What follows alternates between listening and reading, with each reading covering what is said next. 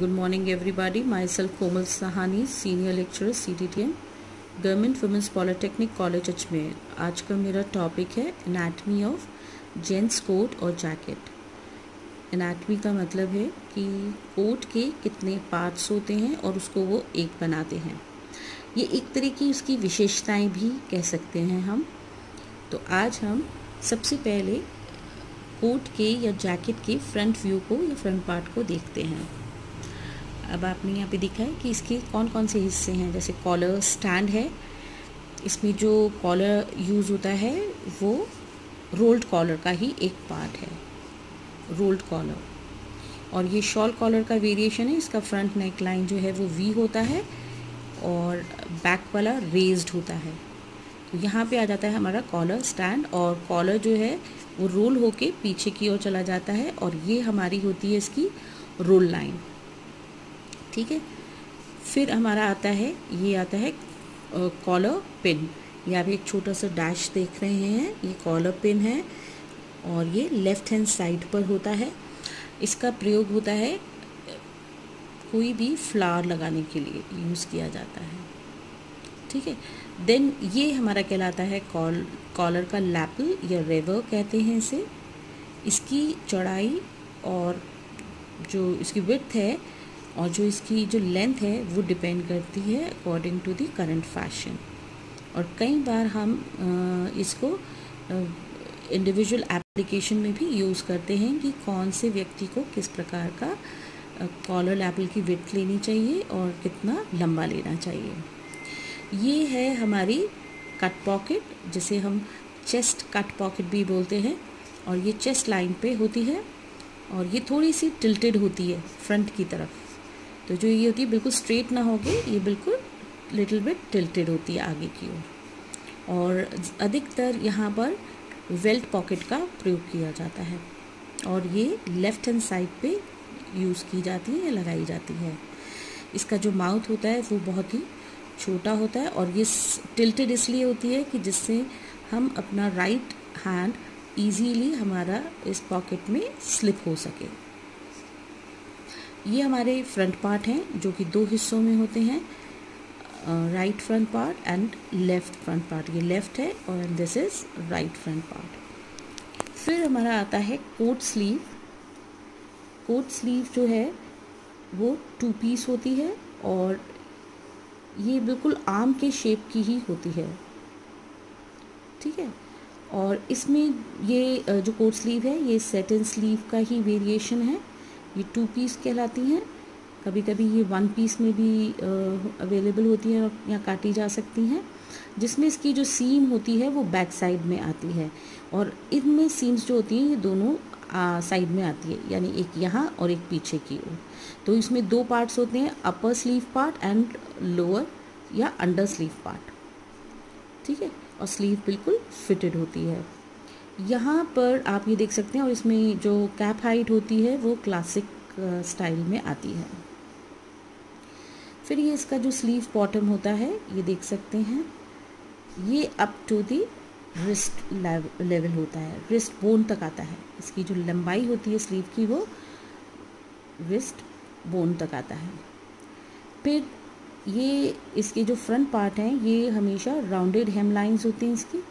कभी कभी इनको पॉइंटेड भी रख सकते हैं but basically it is a rounded bottoms फिर हम आते हैं कि कंधों पर फिटिंग देने के लिए अच्छी प्रकार से कि ये जो शोल्डर सीम्स हैं बिल्कुल फिट बैठे, हम पैडेड शोल्डर का प्रयोग करते हैं और इसके अंदर की तरफ़ पैडिंग लगी हुई होती है, ये पैडेड शोल्डर्स होते हैं।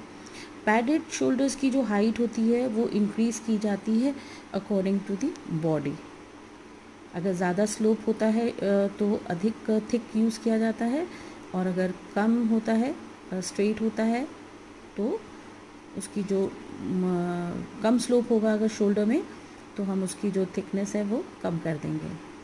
ठीक है? और कभी कभी ऐसा भी होता है कि हम बहुत ही पतली लेयर भी लगाते हैं, जबकि स्ट्रेट शोल्डर्स होते हैं। बट ये एक तरह से क्या है, यहाँ पे पैडिंग देने के लिए होती है।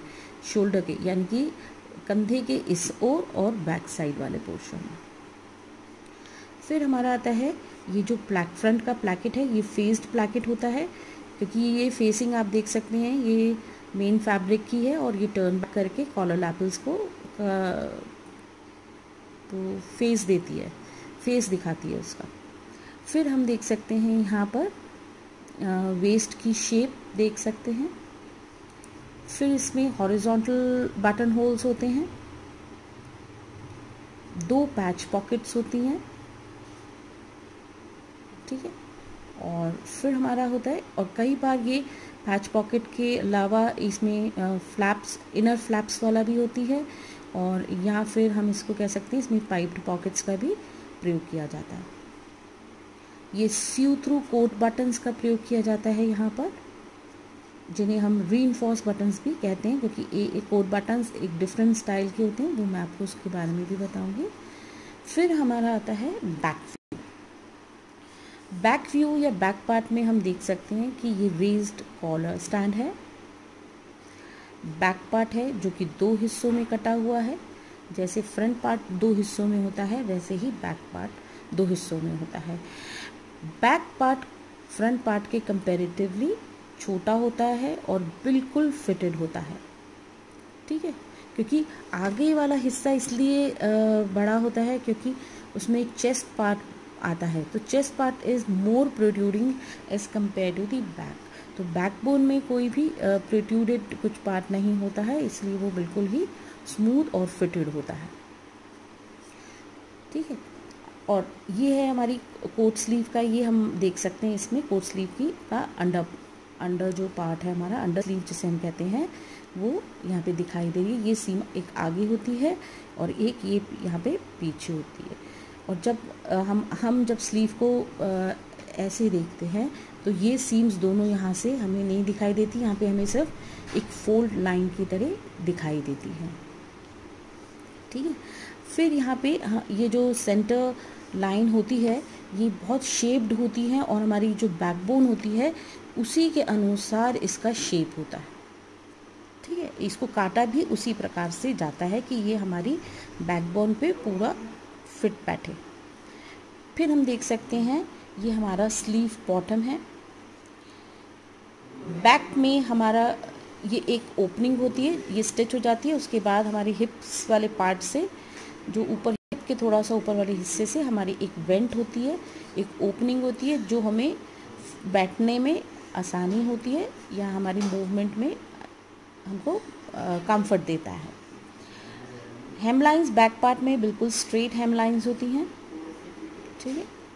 और आप ये देख सकते हैं, यहाँ पे हमारे स्लीव में बटन्स भी होते हैं, जो कि सीम लाइन के पास लगे होते हैं। मतलब ये अपर स्लीव पार्ट पर लगे होते हैं, इनकी संख्या हो सकती हैं, दो, तीन हो सकती हैं। डिपेंडिंग और ये जस्ट फॉर दी उसको ब्यूटिफाई करने के लिए, यानी as a decorative purpose see through buttons लगाए जाते हैं, जो कि फ्रंट बटन से बिल्कुल मैच करते हैं। फिर हम आते हैं साइड व्यू में। साइड व्यू में आप देख सकते हैं, क्योंकि हमें साइड व्यू में भी कई बार कई चीज़ें हमें नोटिस करते हैं हम लोग।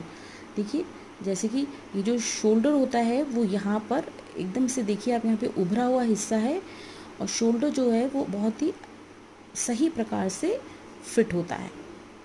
ठीक है? कॉलर फिटिंग भी हम देख सकते हैं नेक पर। ये बिल्कुल नेक के साथ जुड़ा हुआ होता है कॉलर स्टैंड और लेपल्स जो होते हैं, वो बिल्कुल आगे की ओर फ्लैट होने चाहिए चेस्ट लाइन पर। फिर ये जो सेंटर सीम लाइन है, ये हमारी बैकबोन की शेप के अनुसार फिटेड होती है। ठीक है? और ये जो स्लीव की शेप होती है, हमारे आर्म्स की शेप के अनुसार ही प्रतीत होती है। अगर आप इसको साइड व्यू में अगर हैंगर पे टांग टांग के देख सकते हैं, लगा के भी देख सकते हैं। फ्रंट जो प्लैकेट है, वो बिल्कुल फ्लोर के परपेंडिकुलर यानी 90 डिग्री के एंगल पे स्ट्रेट होती फॉल करती है।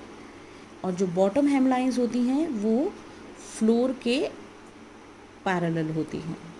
तो इस तरह से हम ये देख सकते हैं कि ये किस तरह से इसके तीनों व्यूज़ हमें दिखाई देते हैं।